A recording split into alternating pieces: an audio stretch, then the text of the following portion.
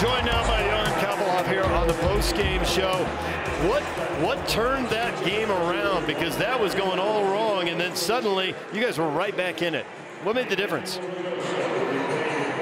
I mean, uh, we kept pushing, you know. We kept believing. Uh, we weren't as sharp as normal, but uh, you saw second half, we just gave our fighting spirit and, and tried to get back.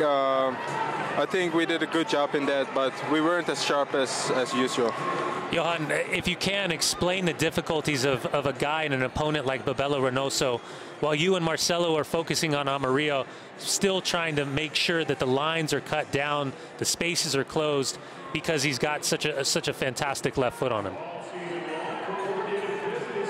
Yeah, he, he got a good feel to, to drop in between the lines. Um, he's a good player. We knew we knew before the game, but I mean we have to do a better job in, in transition, and uh, I think we could have done a better job. Know, Johan, you, you touched on it, the slow start to the match.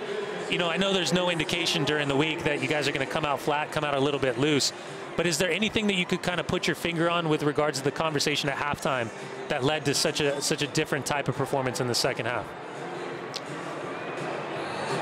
Yeah, we gave we, we, just gave more energy. We put more energy in the game, more fighting spirit. Uh, we won more second balls. Uh, first half with the 50-50 balls, we, we didn't win those, so they were dangerous with that. But second half, we just gave a little more, and, and you saw you saw the result of it. Johan, thanks for joining us here after the game. We appreciate it. Thank you. Johan Kappelhof joining us.